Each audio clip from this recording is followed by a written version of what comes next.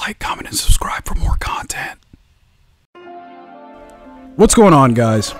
I hope you guys have been enjoying Season 15 of Apex. Honestly, I haven't been playing that much. Um, I'm mostly excited about the future of Apex because Respawn knows that they gotta they gotta do something different pretty soon, right? And speaking of future, we got some news on Season 16, right?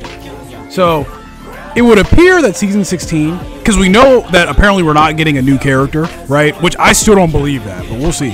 Um, it's going to be one big ass party, right? That's the theme of season 16, right? So you can see it in all these banners, all these. I, don't know what these are. I honestly have no idea. But you can see that there's like DJ Nessie in the middle. Um, dude, this would be the perfect time to introduce Rhapsody from the mobile game because she's a DJ.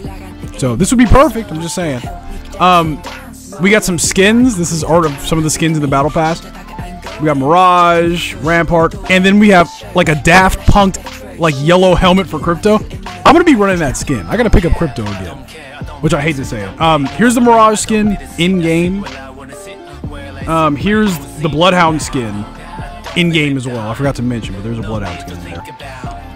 And then also in season 16, um, Apex will be celebrating its anniversary as well. So there's gonna be some like anniversary bundles in the store that you can purchase as well. Um, that's cool, I guess. I'm not losing my mind over any of these bundles. It's a lot of recolors, right? Like Bangalore superhero costume, the Bloodhound Battle Pass skin. Um, and then there's a beach event. That's the big thing.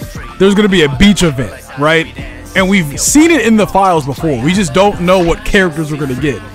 So there's a chance that we get swimsuit Loba, everybody. Okay, there is a chance. So after that, um, we are getting hardcore battle royale, right? We've known about that for a while as well, right? Where you're running around with white armor, no helmets, and the ring is going to be like extra super deadly, right? So for all you people who think that regular battle royale is too easy, that's the game mode for you. I can't wait, dude. I'm about to, I'm about to mow down everybody.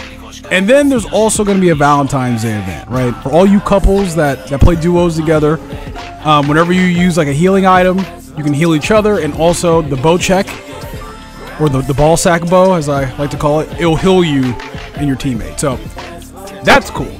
And yeah, guys, that's basically all the new information. Um, things had been trickling out since Tuesday when the beginning of the event happened. So I just basically just like tried to compile everything together. Um, anyway, guys, if you guys found this informative, if you guys liked anything I had to say, leave a like right? Leave a comment if you want to see more Apex stuff because I uh, I do read my comments and I would appreciate that. Subscribe as well while you're down there. Um, anyway, guys, I'll catch you guys later. Peace.